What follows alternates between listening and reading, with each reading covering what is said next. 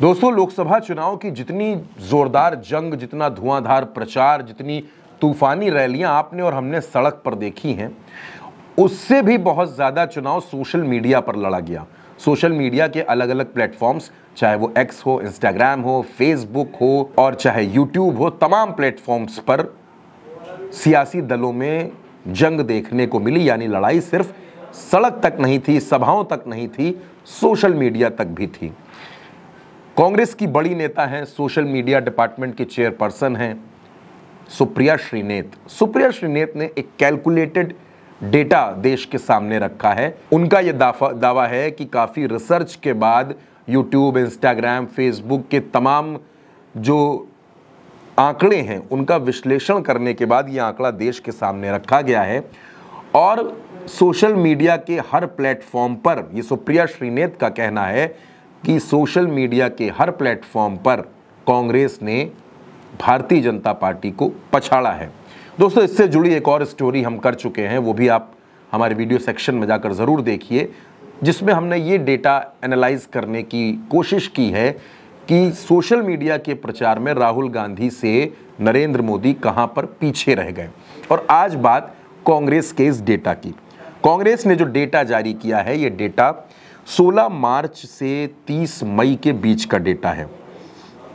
अब कांग्रेस का क्या कहना है वो मैं आपको बता देता कांग्रेस ने इसमें बताया है कि यूट्यूब पर इस पीरियड में 16 मार्च से 30 मई के पीरियड में यूट्यूब पर कांग्रेस को 613 मिलियन व्यूज़ मिले हैं, जबकि भारतीय जनता पार्टी को 150 मिलियन व्यूज़, यानी 150 मिलियन व्यूज़। बात अगर इंस्टाग्राम की करें इंस्टाग्राम के एवरेज लाइक्स की करें तो कांग्रेस को जो एवरेज लाइक्स मिले हैं, तमाम डेटा को कैलकुलेट करने के बाद इस पीरियड में जो एवरेज लाइक्स हैं, वो एक लाख बाईस हज़ार हैं, जबकि भारतीय जनता पार्टी को छब्बीस हज़ार नौ सौ पैंतालीस। बात अगर ट्विटर की करें, यानी एक्स की करें तो जो एवरेज लाइक कांग्रेस के हैं, वो ढाई हज़ार से तीन हज़ार है, जबकि भारतीय जनता पार्टी के 260 से 300 हैं। फेसबुक के एवरेज लाइक्स की बात करें तो कांग्रेस के एवरेज लाइक 1200 से 1500 के बीच हैं, जबकि भारतीय जनता पार्टी यहाँ 150 से 250 के बीच में है। यूट्यूब के आंकड़े को लेकर सुप्रिया श्रीनेत ने क्या कहा? पहले उनका बयान सुन लीजिए। यूट्यूब पर मार्च से मई के बीच में, और मैं 16 मार्च के डेटा से बात करी क्योंकि जिस दिन चुनाव अनाउंस हुआ था, उससे 30 मार्च, मई तक का डेटा है। 613 मिलियन व्यू कांग्रेस पार्टी के थे 150 मिलियन व्यू भाजपा के थे। तो कहीं ना कहीं यूट्यूब पर भी लोग हमारी बात सुन रहे थे, हमारे नेताओं को सुन रहे थे, हमारी रैलियों को सुन रहे थे, हमारी प्रेस कॉन्फ्रेंस को सुन रहे थे। दोस्तों, आज की तारीख का जो युवा है, जो यूथ है, वो इंस्टाग्राम पर अपना ज़्यादा वक्त बिताता है, अपने आप को इंस्टाग्राम से ज़्यादा कनेक्टेड पाता है।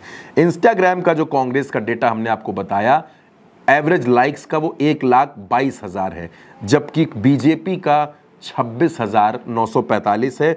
और अगर हम आपसे इंस्टा रीच की बात करें, इंस्टा की जो रीच है, वो मार्च में कांग्रेस की रही 78 मिलियंस, जबकि मई आते आते ये एक सौ चौवन मिलियन हो गई। यानी अगर आप देखें तो लगभग दो गुने के करीब। इंस्टाग्राम के डेटा पर भी सुप्रिया श्रीनेत ने अपनी बात रखी है। ज़्यादातर यूज़र्स जो होते हैं वो यंग होते हैं। इंस्टाग्राम पे हमारी एवरेज लाइक एक लाख इक्कीस हज़ार। बीजेपी की एवरेज लाइक छब्बीस हज़ार नौ सौ पैतालीस। ये दिखाता है आपको कि डेली फॉलोअर जब हमारे तैतीस हज़ार बढ़ रहे थे तो बीजेपी के पाँच हज़ार तीन सौ बढ़ रहे थे। तो कहीं ना कहीं जो युवा देश है, जो यंग है जो इस चुनाव के का निर्धारण करेंगे जो निर्णय करेंगे कि सरकार किसकी बनेगी, वो कांग्रेस की बात सुन रहा था, कांग्रेस के नेताओं की बात सुन रहा था, कांग्रेस का नैरेटिव सुन रहा था, कांग्रेस के उठाए मुद्दों की बात सुन रहा था। अब दोस्तों, आपसे हम बात करें, अगर सिर्फ़ अभी तो हमने आपसे व्यूज़ के बारे में बात की, अगर हम रीच के बारे में बात करें तो जो डेटा सामने आया है 16 मार्च से 30 मई के बीच, जो कांग्रेस की तरफ़ से बताया जा रहा है फेसबुक रीच में, मार्च में कांग्रेस की रीच जो थी, वो फेसबुक पर 50 मिलियन थी। जबकि मई में ये बढ़कर 105 मिलियन हो गई। ट्विटर के इंप्रेशंस यानी एक्स के इंप्रेशंस की हम अगर आपसे बात करें, मार्च में कांग्रेस की ये थी 117 मिलियन, जो मई में बढ़कर हुई 128 मिलियन। यूट्यूब के व्यूज़ की बात करें तो मार्च में व्यूज़ थे एवरेज व्यूज़ जो थे वो 80 मिलियन तक गए थे, और जो मई के व्यूज़ गए वो 233 मिलियन तक गए।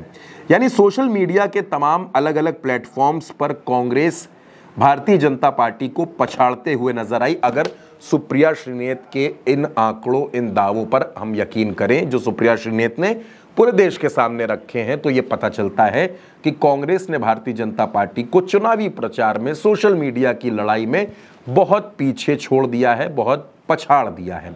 अब सोशल मीडिया के इन आंकड़ों का कितना असर नतीजों पर होगा, इसका भी विश्लेषण 4 जून के बाद होगा।